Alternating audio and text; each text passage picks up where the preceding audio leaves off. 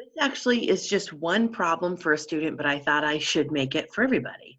Um, and man, that window behind me is bright today, so I can't see real well.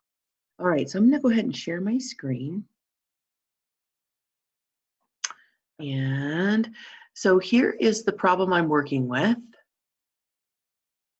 And this is um, asking for where it's increasing and decreasing. Okay, so if we start with something like this, we always have to start with the derivative, okay? But this is a product rule and a chain rule. So the derivative is a little bit harder. So first you have to find that derivative using the product and the chain rule. So remember the product rule is first times the derivative of the second plus the second times the derivative of the first. So our first is that first part that you're multiplying. So that's our x minus 9. The second is e to the 2x, negative 2x. Okay, so we want to find the derivative of each of these. So the derivative of x minus 9 is just 1. So the 9 drops off, we're left with just a 1. Now the derivative of the second, we know e to the x stays e to the x, but we have a negative 2 up there. So we keep what we have and we have to multiply it by the derivative of the exponent, and that was our chain rule. Okay, so derivative of the exponent. Now let's go back and write the whole thing out, and then we have to find where it equals zero. Okay, and that's gonna help us with that critical value. Okay, so from here, I am going to have um, the first, x minus 9, hopefully you can hear me, I didn't have my headphones on, um, times the derivative of the second, so times, I'm going to write the negative 2 in front, e to the negative 2x, so first, derivative of the second, plus the second times the derivative of the first. All right, so here's where you have to remember some algebra skills a little more. Um, I can times this through, but honestly, I don't want to. I want to start with taking out an e to the negative 2x. When I take that out of the first one, I'm left with this negative 2, which I like to write in front, and then the parenthesis. And then on the second part, I'm left with a 1 plus 1 right? Times one, that part didn't really matter much. So we're left with this. So I took that e to the negative 2x out. Why would I take that out? Oh, because it can't equal zero. So it can't equal zero. It can't be part of our critical value. Um, so when we go from here, we need to simplify over here a little more. So this um, is going to be because plus 18 plus 1. So then that 18 and that 1 can become a 19.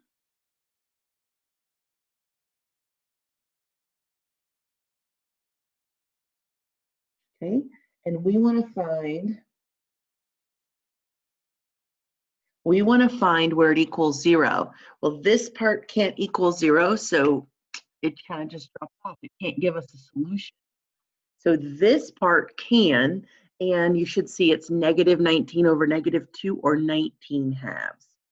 So x equals 19 halves. So our one critical value is at that point.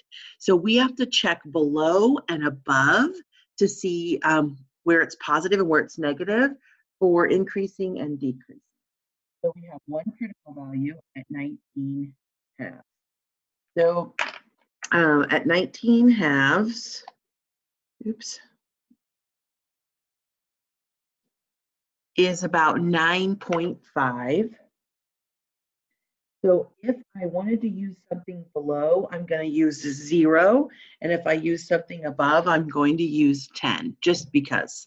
So I'm going to let x equal I don't really need to mark them on my graph. That was kind of silly, but that's okay. So then I'm going to use my calculator and put zero into my derivative. So here's my derivative simplified right here basically.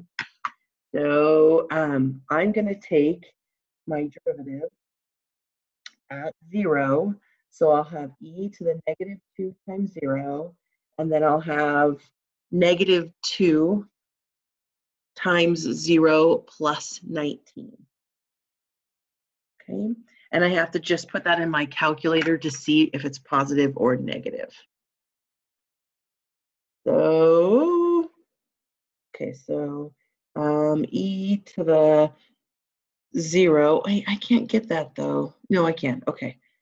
I was thinking it, it equals 0. Okay, so that equals 1, and then I would have uh, 0 plus 19. I don't know why I'm really needing a calculator. So 0 plus 19 is positive.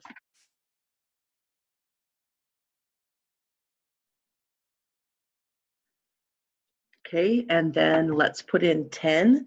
So we'd have e to the negative 2 times 10, and then negative 2 times 10 plus 19.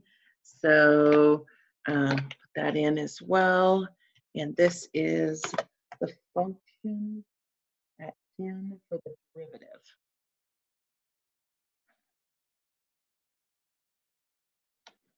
Okay, so I'm going to put that into my calculator. And uh, yeah, there it is. Okay. So e to the negative 2 times 10 um, times negative, oops, wrong negative, it'll get mad at me, times 10 plus 19 is a negative really small number. Nope, really big number. So this is negative. So we are positive than negative, and this is a zero critical value, not an undefined. It's a zero. And so we are increasing, then decreasing. All right, so we would say from negative infinity to 19 halves, we're increasing. And we would say from 19 oops, halves to infinity, we're decreasing. How can I check if I'm right? Well, I'm going to take a second. Let me minimize this. And I'm going to go to Desmos.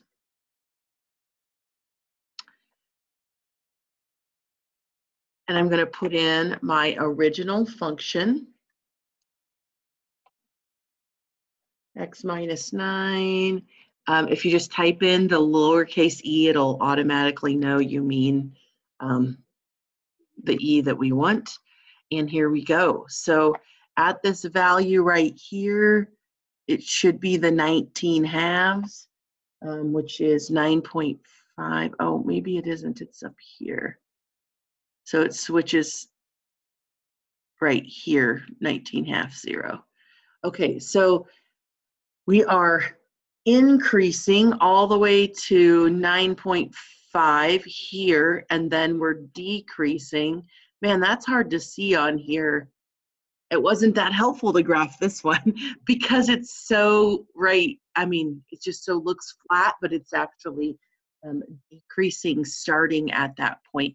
It always, it won't show you them unless you click by them, but you can see that it has that. So nine is where it crosses the X um, axis, but the 9.5 is where it starts to then decrease. So it should start to go down from here, but hard to tell.